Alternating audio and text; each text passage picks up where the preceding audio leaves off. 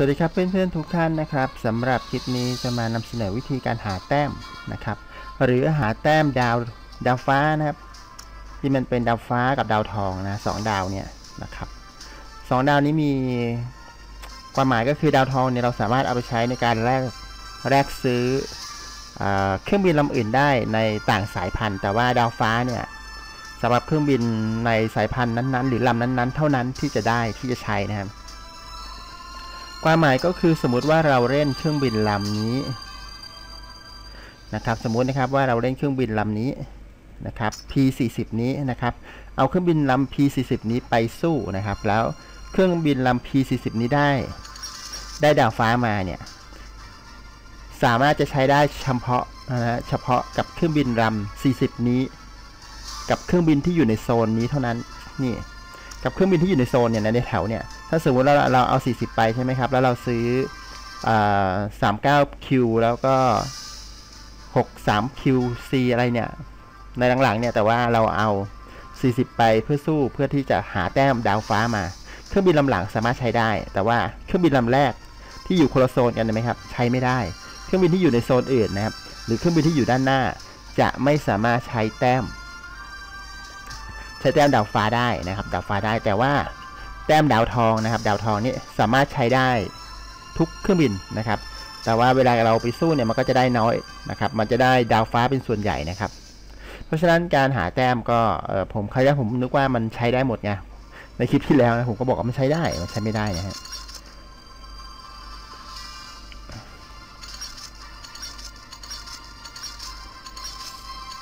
ตอนนี้ผมกำลังงงว่าสองลำนี้เป็นตัวเครื่องบินเหมือนกัน มันซื้อแล้วมันจะเหมือนกันไหมใช้นี่กัน ซื้อแล้วนะต่อไปผมจะซื้อเครื่องบินนะครับยังขาดเงิน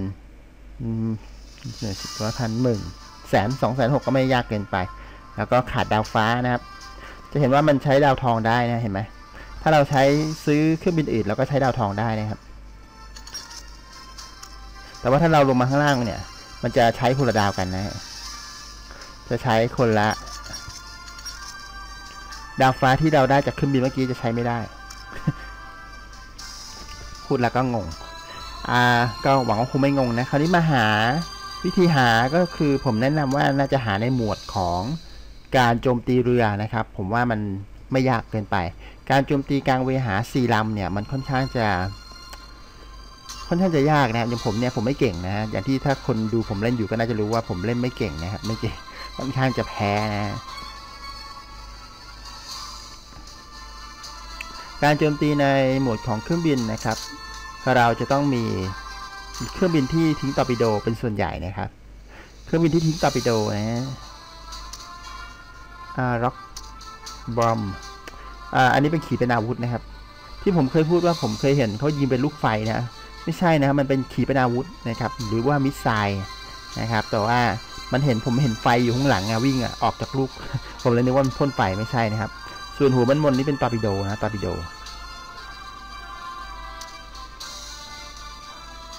ผมจะไปตีไปยิงเครื่องบินแล้วเน้นที่การ bomb เครื่องบินนะครับ เพราะฉะนั้นผมจะเอาตอร์ปิโดไปนะครับ และอีกอย่างหนึ่งนะครับ จะเห็นด้านล่างนะครับติ๊ก auto นี่หมายถึงว่า ถ้าเราใช้ตอร์ปิโดไป1ชุดนะครับ1ชุดนะครับ2,000เนี่ยถ้าเราใช้ไป 2 ลูกเรียบร้อยแล้ว มันจะ re ใหม่ การ re ใหม่หมายถึงว่าเราต้องซื้อใหม่นะครับมันจะซื้อ auto ด้วยการกดตรงนี้นะครับถ้าเราไม่กดคำสั่งนี้นะครับเห็นเลขหนึ่งข้างบนไหมนี่คือ 1 ชุด เราจะมีการยิงแค่ 1 ชุดนะครับ กระสุนตอร์ปิโดเราจะหมดนะครับ เราต้องกด auto ด้วยนะครับ เพราะฉะนั้น ก็ถือว่าการไปเก็บเรือเนี่ย ผมจะได้ประมาณหมื่นหนึ่งหมื่นห้า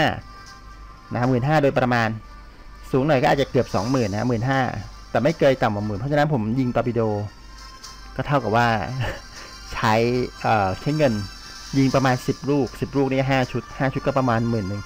นะครับ ก็ใช้เงินประมา 1 0,000 เพราะฉะนั้นก็พูดถึงราคาที่หายไปก็เยอะนะครับเยอะ เพราะว่าเมื่อมันซื้อเนี่ยมันจะซื้อ auto นะครับ มันซื้อ auto แล้วก็มันจะใช้เงินนะครับเงินที่เป็นเงินขาวซื้อนะครับเหรียญเงินนะครับ โอเคครับเดี๋ยวผมไปสู้ให้ดูว่ามันพอที่จะเล่นง่ายกว่านะครับเล่นง่ายกว่า ผมพอจะพอจะเก่งกล้าแล้วพอจะเก่งกล้าแล้ว เดี๋ยวจะทำ damage กับการโจมตีเรือ เสียงเรือมันดังไปนะครับ เดี๋ยวเขาลดเสียงแล้วก็ถ้าเสียงมันแตกๆซ่าๆหรือว่าไม่ใส่กริ้งก็ต้องขออภัยด้วยนะครับ เพราะว่าอุปกรณ์ผมมันไม่ได้เรื่องนะฮะนะครับ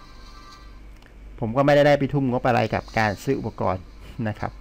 มันมาอย่างไงผมก็ทำอย่างนั้นนะเพราะทำเพราะชอบนะฮะไม่ได้คิดอะไรมากมายนะครับ ทำติดช่องไว้ให้ดูเล่นๆ มีความสุขดีนะครับ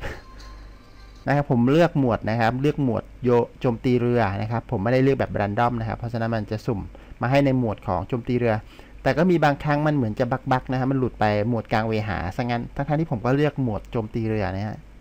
ป้องกันเรือรบของเรานะ มันขึ้นหมวดว่าอะไรดีเฟนต์เนี่ยป้องกันเรือรบของเราก็คือไปโจมตีเรือของเขาให้ตายก่อน หรือจะป้องกันเรือของเราก็คือคอยยิง เรือบินคนอื่น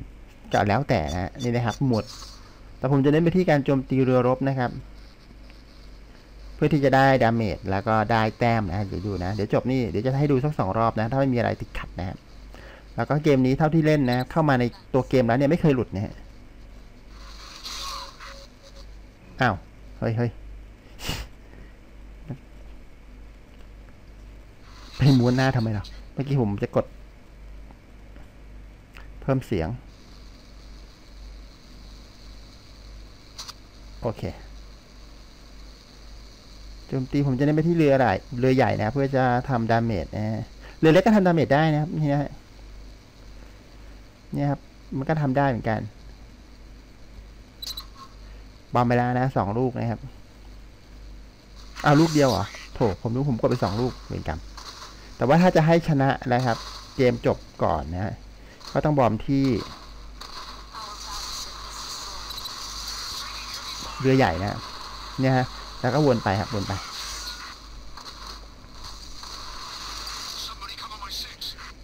นะครับ แล้วก็เราหมดไปแล้วชุดหนึ่งนะครับ เราใช้ไปแล้วสองพันนะครับนี่ผมก็วนหัวนะฮะกลับไปนะฮะเนี่ยฮะ ก็วนไปเรื่อยๆนะครับ ก็ทำเราจะทำ damage ได้ดีนะครับ การยิงไม่ค่อยจะได้ผลสักเท่าไหร่นะ ทำ damage ได้นะฮะแต่ไม่ค่อยได้ผลแล้วก็โจมตีมันจะมีเอ่อเขาเรียกว่าอะไรป้อมปืนบนเรือด้วยนะเอาผมกดไปม้วนก่อนแล้วป้อมปืนบนเรือนะฮะป้อมปืนบนเรือถ้าเราเล็งได้ตรงแล้วไปทำลายเนี่ยเราก็จะได้อ่าคล้ายๆโบนัสนะโบนัสด้วย เพิ่มด้วย นะครับบนไปทำลายต่อ ก็จะมีคนมาเลงเราเหมือนกันนะฮะไม่ต้องแปลกใจนะฮะอุ๊ยพลาดนี่ ผมโดนใครยิงนะครับ เพราะว่าด่านนี้มันตายไม่เสียอะไรนะครับ โดยทั่วไปเนี่ยคนเขาจะเน้นที่การยิงเรือ แต่ผมก็เห็นมีบางคนเน้นที่ป้องกันเรือตัวเองนะครับ แล้วก็ก็แล้วแต่สไตล์การเล่นแหละมั้งนะครับ เพราะว่ามันแต้มมันก็ไม่ได้ต่างกันเท่าไหร่ นะครับ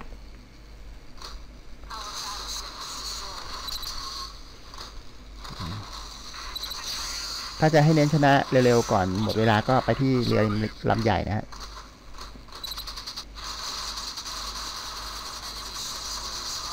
การยิงไม่ค่อยมีผลนะครับ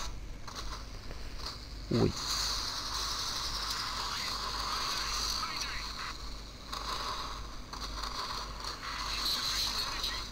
น่ะ มีเครื่องเครื่องบินคนอื่นเข้ามาตามล่าผมอยู่ เครื่องบินของฝั่งตรงข้าม เขาเน้นที่ป้องกันนะฮะเขาไม่ได้มีเน้นไปบอมเรือนี่ลงไปหนึ่งลูก ลงไปหนึ่งลูกนะฮะตูมตูมนะครับนี่ครับ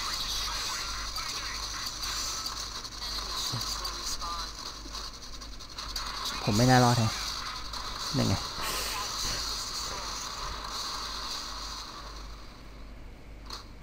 ตายไม่ค่อยมีอะไรนะ เพราะฉะนั้นทำ damage ให้ดีที่สุดนะ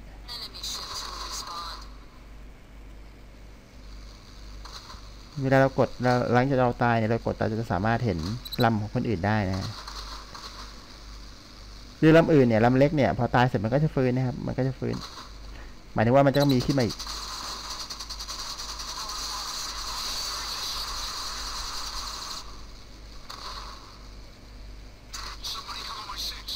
อุ๊ยเดี๋ยว จะไปบอม ถ้าเราหมดเวลาก่อนนะครับ แล้วก็ ก่อนที่เรือจะหมดนะ ถ้าเรือใครเรือที่เราป้องกันเลือดใครเหลือเยอะที่สุดก็ชนะนะครับ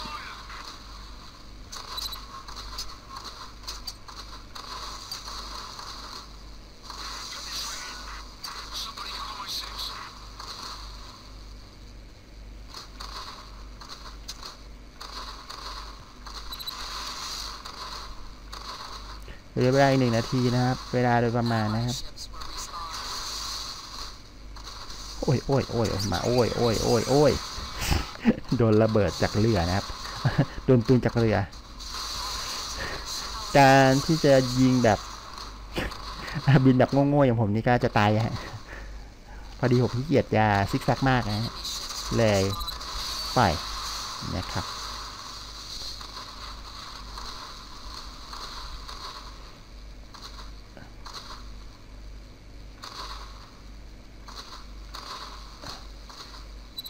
นี่ เอา ซะหน่อย เอาซะหน่อย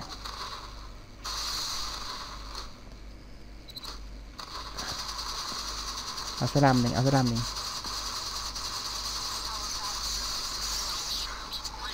พอ เอาเป็นกระใสพอ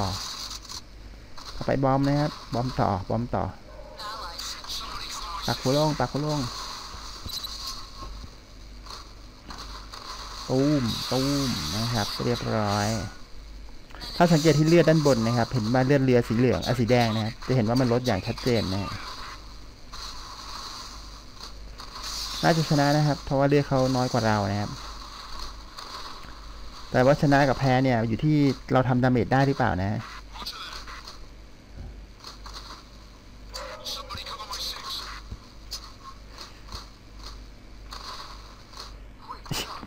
หมดเวลาก่อน แหมลูกระเบิดมันยังไม่ถึงนะฮะ หมดเวลาก่อน การแพ้ชนะบางทีเนี่ยมันก็ไม่สำคัญนะครับบางคนแพ้นะครับบางฝั่งเนี่ยอยู่บนฝั่งแพ้นะครับ แต่ว่าเขาทำดาเมจได้ดีฮะก็ได้แต้มเยอะนะครับนะครับ นี่จะเห็นว่าได้เงินสองหมื่นนะฮะแล้วก็ได้ได้ดาวฟ้าหกพันแล้วก็ได้ดาวดาวทองนะครับสามร้อยอันนี้ผมมีบัญชีพรีเมียมอยู่นะครับ ซึ่งตอนนี้กำลังมีระยะเวลาเหลืออยู่ประมาณ 3-4 ชั่วโมงนะ เดี๋ยวก็หมดแล้ว ถ้าหมดบัญชีพรีเมียมผมก็จะเหลือเงินอยู่น้อยนะครับ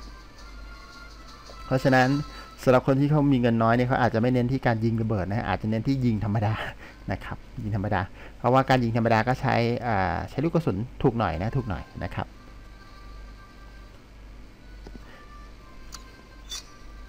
แล้วก็ล่าต่อไปนะครับ สู้ต่อไป เดี๋ยวให้ดูอีกรอบหนึ่งนะครับ อีกรอบหนึ่ง แล้วก็มันมีวิธีการยิง missile นะ missile ในเกมนี้ถ้าที่ผมรู้มันยิงแนวตรงนะฮะเพราะว่าผมเพิ่งมียานแค่ทดสอบได้แค่ T5 ใช่ไหมถ้าเป็นยานเอ่อเครื่องบินใน T6 T7 T8 T9 เนี่ย missile มันจะมีรูปแบบอะไรที่แตกต่างกันหรือเปล่าเนี่ยผมไม่รู้นะครับผมไม่รู้ เพราะว่าคิดว่าคงจะเล่นถึงประมาณ T5 T6 ประมาณนั้นนะครับ ที่เหลือก็คงเอื่อยๆนะฮะหรือว่าถ้าเจอเกมอื่นก็อาจจะต้องลบเกมนี้ทิ้ง เพราะว่ามัน มันต้องใช้พื้นที่นะครับแท็บเล็ตผมพื้นที่ไม่เยอะ มีประมาณที่ว่างอยู่ประมาณ5 gig 3 gig 4 gig แล้วก็ต้องการถ่ายแอปนะครับเนี่ยถ่ายแอปเนี่ยมันก็ใช้นะฮะชั่วโมงหนึ่งครึ่งชั่วโมงนี้ก็ใช้ร่วม2ถึง3 gig เลย มันไม่พอ มันก็ต้องลบทิ้งนะครับลบทิ้งน่าเสียดายนะ น่าจะมีพื้นที่เยอะนะ เกมดีๆ ติดเครื่องเอาไว้นะฮะแหมเพราะฉะนั้นคนที่อยากจะซื้อแท็บเล็ตก็ดูดู ซื้อมือถือก็ดูดูที่มันชิปเยอะๆไอ้มีพื้นที่เยอะๆมาขออีกรอบหนึ่งนะครับสำหรับคลิปนี้ก็จะจบที่รอบสองนะครับ ก็น่าจะได้ประมาณสักสองหมื่นนะครับ โดยประมาณไปไปจะเห็นว่ามีสัญลักษณ์ในการในการล็อกด้วยนะครับ ในการล็อกนี่ฮะเหมือนกับว่าเพื่อนเขาบอกให้ช่วยกันโจมตีลำนั้นนะฮะนี่นะครับ การกดสัญลักษณ์คือกดที่เรือนะฮะนะกดเสร็จแล้วก็กดที่สัญลักษณ์เห็นไหมครับเนี่ย มันจะสามารถที่จะเลือกได้นะฮะหรือว่าบางทีเราเจอโจมตีเราหนีไม่ออก แต่ว่าเรายังพอหนีได้ จะเรียกร้องให้เพื่อนมาช่วยมาช่วยกันหน่อยเว้ยเฮ้ยอะไรอย่างเงี้ยรู้สึกว่าทีมนี้จะเป็นนะจะเป็น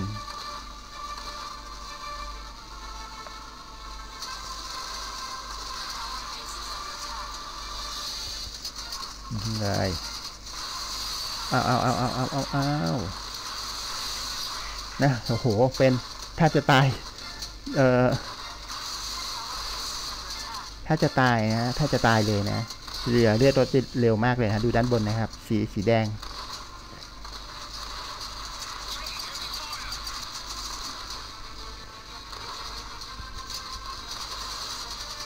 ไม่ทันไม่ทันผมโดนแค่ลูกเดียวเหรอ บ้าจัง นั่นนะมาอีกแล้วเรียบร้อยครับ โดน ตอร์ปิโดไม่ใช่ตอร์ปิโดสิมันเรียกอะไรอะจะอ่าจรวดทิ้งบอมอะไอ้ขานี่มันจรวดโหดจังผมโดนไปแค่สามลูกเอง ก็จบเร็วนะครับ อันนี้ก็เป็นหนึ่งในวิธีนะทำให้จบเร็ว โอ้โห โหดมากเลยลำเมื่อกี้นี้อะไรอะ ME สองสองร้อยสิบ A ME สองร้อยสิบ A มันจะโหดไปไหน โอเคครับเนี่ยนะมาหาเอานะครับสำหรับคนที่อยากจะได้แต้มก็มาล่าเอาอย่างเงี้ยนะครับ ผมว่ามันง่ายกว่า ถ้าเป็นยิงแบบ4-4นะฮะมันค่อนข้างจะต้องใช้ฝีมือ ถ้าชอบแบบเบื่อเอ้ยเปลี่ยนบรรยากาศบ้างก็แล้วไปก็แล้วไป แต่ถ้าอยากจะมุ่งเน้นในการฟาร์ม ผมว่าในด่านพวกนี้โอเคเลยนะครับโอเคเลย เปลี่ยนเครื่องบินที่มีตัวฟาร์มมานะฮะเดี๋ยวผมขอไปดูไอ้นี่หน่อยที่เมื่อกี้อะไรมัน M ME ใช่ไหมเครื่องบินอะไรวะ ME สายพันธุ์ไหนวะยิงโหดจัง M อืม